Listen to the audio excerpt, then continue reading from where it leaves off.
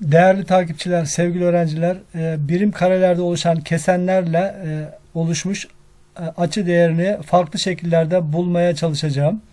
Lise kaynaklarında bu tür sorulara rastlarsanız birden fazla çözümünü yapabiliyoruz. Bunları sizlere paylaşmaya çalışacağım. İlk çözümümü sentetik çözüm olarak kurmak istiyorum. Bu birim karelerden oluşan şekle ebatları 2'ye 3 olacak şekilde dikdörtgene tamamlayarak buradan e, üçgen e, taşıma yöntemiyle çözmeye çalışacağım. Bu çözümlerden e, ilki sentetik bir çözüm kurmaya çalışıyorum. Görseldeki şekli 6 tane eş birim kareye ayırdım. Dikkat edersek burada kırmızı ve mavi hipotenüsler var. Bunlarla artık özel durumları kurmaya görmeye çalışacağım. Peki şunu yapabiliriz şimdi sentetik çözüm olarak. Kırmızı e, köşegene hipotenüsü e, başka bir e, yerde e, çizebiliriz. Yani bunu öteleyebiliriz. Ben bu kırmızı köşegeni şöyle e, şurada çizmek istiyorum. Bu kırmızılar birbirine paraleldirler. Peki paralel iki doğru mavi doğru ile kesildiğinden dolayı şu açı yöndeş açılardan dolayı teta olacaktır. Bunu yapabiliriz. Çünkü kırmızı hipotenüs dik kenarları 1'e 2 birim olan işte dik üçgenlerde hipotenüs olmuştur. Bu kez de bu e, kırmızı hipotenüsü ismini yazarsam şöyle AB hipotenüsü buraya e, CD olarak taşıdım. Bu kez de e, AB hipotenüsünü şuraya bir isim vereyim K diyeyim. C ve K'yı birleştirerek orada kurmak istiyorum. Bunu yapabiliriz.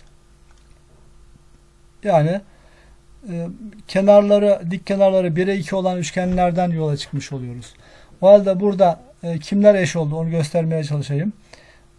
CD uzunluğu eşit oldu AB uzunluğuna. Bu da eşit oldu CK uzunluğuna. Böyle çizim yapabiliriz. Peki şimdi burada oluşan e, dik üçgenlerde e, mevcut dar açıları taramaya çalışalım, bulmaya çalışalım. Mesela şurada çalışmış olsaydım. Bu bir dik üçgendir. Bu bir dik üçgendir. Peki aynı dik üçgenin eşini şurada görebiliyoruz bakınız. Bu da bir dik üçgendir. Bu dik üçgenler e, eş üçgenlerdir. Tarayarak biraz daha ön plana çıkartabilirim. Örneğin şu üçgen ile taradığım bu dik üçgen ile başka bir renkle tarayacağım üçgenler eşittirler. Bu maviyle taradığım ve yeşille taradığım üçgenler eşittirler. Sentetik çözüm yaptığım için böyle çözüm yapabilirim. Şimdi bilinmeyen açıları artık harflendirmeye çalışıyorum.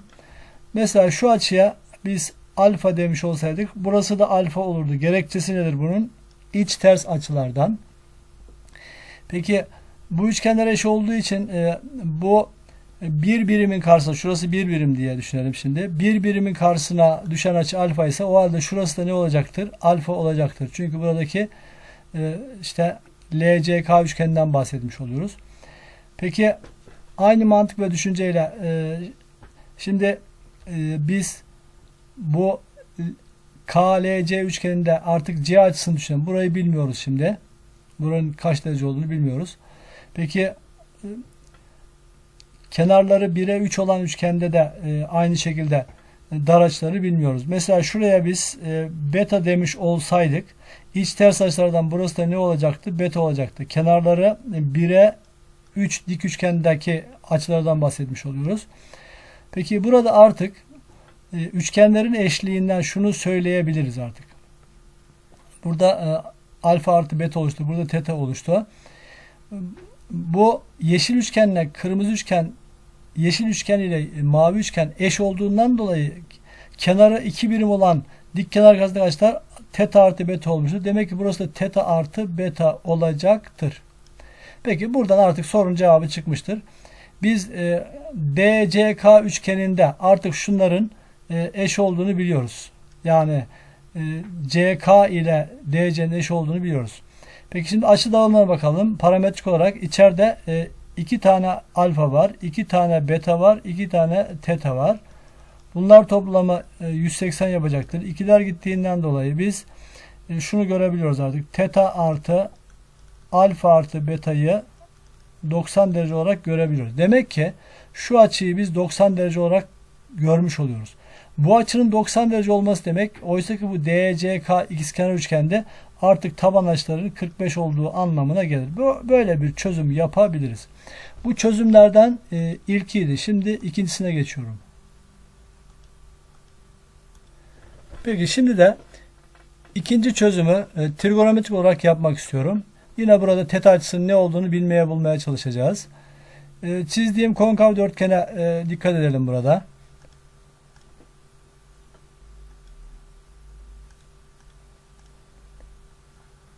Çalışacağım dörtgen şu konkav dörtgendir. Bunda çalışacağız şimdi. Bu bir konkav dörtgen. Bu konkav dörtgenin bilmediğimiz açılarını modellemek istiyorum. Buraya mesela alfa deseydim. Buraya da işte beta demiş olsaydım. Peki şu açının 90 derece olduğunu biliyoruz. Direkt buraya yazıyorum şimdi. Alfa, beta ve teta toplamı 90 derece olmuştur. Peki buradan teta'yı çekecek olursak teta'nın değeri 90 eksi alfa artı beta olarak yazılabilir. Şimdi eşit açıların tanjantları eşit olacağından dolayı bu e, kurduğum açıların eşliğinde e, tanjant teta'yı aldığım zaman tanjant teta 90 e, eksi alfa artı beta'nın tanjantı artık şuna eşit olacaktır. 90 90'dan bir açı çıkarttığımıza göre indirgeme kurallarından burası kotanjant alfa artı beta olacaktır. Peki Şimdi de e, biz alfanın e, kotanjantını işte beta'nın kotanjantını nerelerden okuyabiliriz ona bakalım. Burada karenin kenarlarını bir birim aldığımızdan dolayı şuraları bir birim aldığımızdan dolayı şu taradığım üçgenden taradığım üçgenden kenarları 1'e 3 olan üçgenden işte kotanjant e, e, alfayı e, tanjant alfa okuyabiliriz. Aynı mantıkla şuradan da şu yeşil üçgenden de bu üçgende kenarları dik kenarları 1'e 2 olan bir üçgendir. Şuralar 1'e 1 e, olduğundan dolayı. Buradan da beta'nın tanjantını kotanjantını okuyabiliriz. Artık devamı ki şurada kotanjant e, alfa artı beta'nın açılımını yaptığımız zaman bu artık 1 bölü tanjant alfa artı beta demektir. Peki burada tanjant alfanın değerini şuraya yazmaya çalışıyorum. Mesela tanjant alfanın değeri 1 e, bölü 3 olmuştur. Tanjant e, beta'nın değeri de buradan 1 bölü 2 olmuştur. Burada normal açılım yaptığımız zaman ben artık zamanınızı harcamak istemiyorum. Bunu açtığımız zaman bunun cevabı 1 gelecektir. Peki tanjant teta'nın 1 olması demek üçgende çalıştığımıza göre açılar 0 ile 90 derecesinde tamamlanmıştır. Buradan teta'nın değerini 45 e, olarak bilmiş bulmuş oluruz. Bu da trigonometrik çözümlerden birisi. Böyle de düşünebiliriz. Peki şimdi başka bir çözümü kurmaya çalışıyorum. Üçüncü çözümümüzde de e, üçgende iç açıları kullanarak bir çözüm üretmek istiyorum. Kullanacağım üçgeni şuraya çizmeye çalıştım. Yani isim verecek olursam e, KLC üçgeninden yararlan, yararlanmak istiyorum. Bu KLC üçgeninde açılar arasında 90 derece dik açı yoktur. Peki bilmediğim açıları şimdi harflendireyim. Şuraya alfa diyeyim. Şuraya da beta diyeyim. Bunu da derslerimizde çok kullanıyoruz. Herhangi bir üçgende e, iç açıların tanjantların toplamı e, eşit olur. İç açıların tanjantlarının çarpımına. Yani şunu söylemeye çalışıyorum. Toplamları çarpımlarına eşit olur. Nelerin? iç açıların tanjantları toplamı tanjantları çarpımına eşit olur. Bunu kullanabiliriz. Tabi burada 90 derece tanımsız yapıyor. 90 derece diye bir açı yok. Böyle bir sıkıntı yok. Onu buraya yazmaya çalışayım şimdi. Tanjant teta artı tanjant alfa artı tanjant beta eşit olacaktır. Tanjant alfa çarpı tanjant teta çarpı tanjant beta'ya eşit olacaktır. Yerim dar olduğu için direkt yazmak istiyorum. İşte tanjant alfayı Tanjant alfayı biz 1 bölü 2 olarak biliyoruz burada. Mevcut dik üçgenlerden onu görebilirsiniz. Peki e, tanjant beta'yı da okurken bu beta artık burada geniş açıdır. Buna dikkat çekmek istiyorum. Bu geniş açıdır. E, yöndeş açılardan e, başka nerede beta vardır diye sorsak kendinize burada beta vardır bakınız. Burada da beta vardır. Peki biz tanjant beta'yı okuyacağız beta'yı okumak için e, yine dik üçgen kullanacağımızdan dolayı Şöyle düşünebiliriz şimdi. Bu beta'yı şurada 90'a 180'e tamlayan bir açı var. Diyelim ki bu açıya y diyelim. Biz e, beta ve y'nin bütünler açı olduğunu biliyoruz. Buradan tanjant beta ile tanjant y'nin eşit olmadığını biliyoruz. Bütünler açılardan birinin tanjant diğerinin tanjantın eksisine eşitti. Buradan e, tanjant y'nin eksili değerini. Peki tanjant y'yi nereden buluruz? Tanjant y'yi de yine şuradan bulabiliriz. Bakınız taradığım üçgenden bulabiliriz. Şöyle. Peki buradan tanjant beta'yı okurken biz tanjant y'yi kullanacağız. E, ve önüne eksi alacağız. Bu da e, eksi 3 olacaktır. Bu bilgileri getirip e, denklemde yerine yazarak da tanjant teta'yı bulmaya çalışalım. Burasını bilmiyoruz şimdi. Tanjant teta'yı bilmiyoruz. Tanjant alfayı 1 bölü 2 biliyoruz. Tanjant beta'yı e, eksi 3 biliyoruz. Şurası 1 bölü 2. Şurası eksi 3. Sağ tarafta tanjant alfayı yine 1 e, biliyoruz. E, buradan betadan eksi 3 gelecek. Buradan eksi 3 bölü 2 gelecek. Çarpı tanjant teta gelecek.